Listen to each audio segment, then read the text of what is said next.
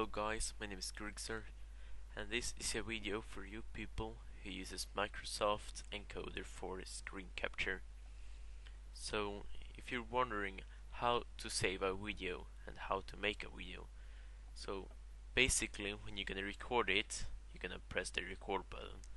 But if you already know that, which you should, then all the videos are gonna save here. Then you're gonna press send to encoder and the software itself will open.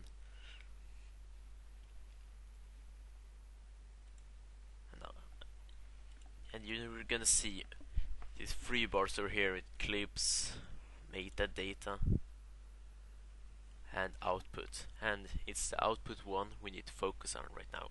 So job output over here, uh, this is the one here Here's the one uh, where it's gonna save. You can change it by browse for output folders, uh, desktop, which I have now, and here is a video where I can just encode it by pressing file and encode or control E.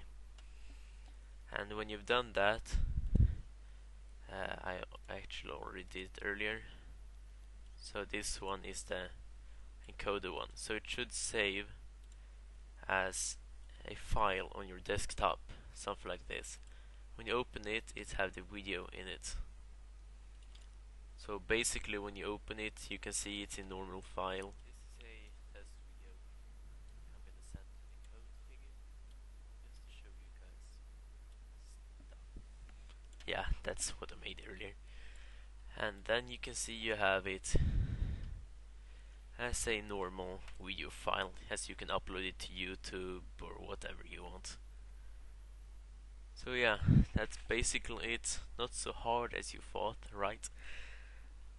And thank you guys for watching. And I will see you guys all later.